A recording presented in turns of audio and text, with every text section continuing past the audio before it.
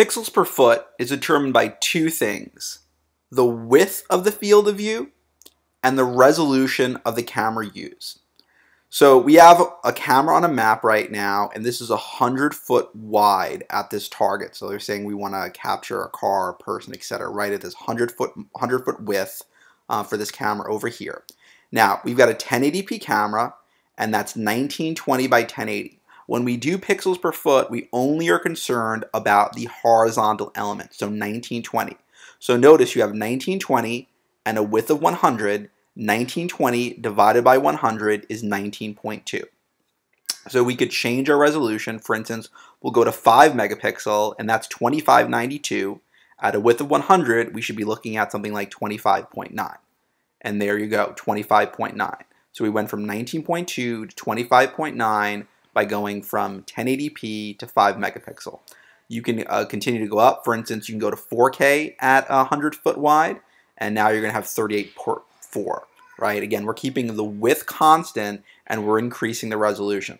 Now, I want to point out that this is not perfect because there can be issues with compression or lens lens quality, etc.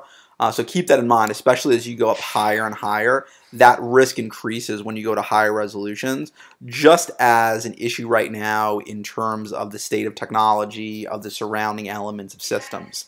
Um, so be careful about that. So let's go back to our 1080p camera. So we're 1080p, which is 1920 wide, 100 foot wide. And so let's say now you say, you know what, I really need to have 40 pixels per foot or more.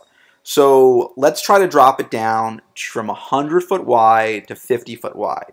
Now you'll see at 50 foot wide, we dropped it in half, which means keeping the resolution the same, we doubled our pixels per foot, but we're still not at um, 40 pixels per foot. I'll zoom in a little bit more just to show you a little bit in more detail. So now let's go to 40 foot wide. Okay, so now we're at 40 foot wide. Now we're getting 48 pixels per foot. And you could keep on going down on this. You'll notice that like we now 30 foot wide 1080p, we're at 64 pixels per foot. But notice how much the coverage area has shrunk. And there's another issue going on here is that we kept we've kept the angle of view at 80 degrees this entire time.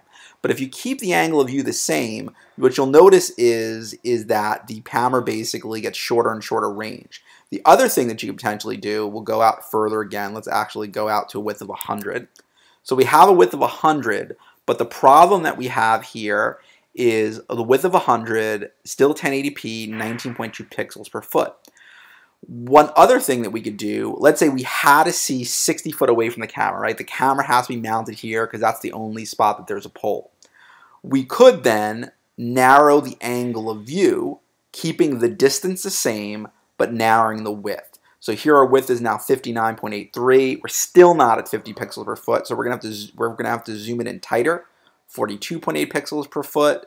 Now we're just over 50 pixels per foot. But notice what we had to do is we originally had an angle of view of 80 degrees. We still needed to get that 60 foot distance, so we had to narrow the angle of view down to 35. So, so those are some of the key trade-offs. We encourage you to use the IPVM camera calculator to better understand these issues when using pixels per foot. Thank you.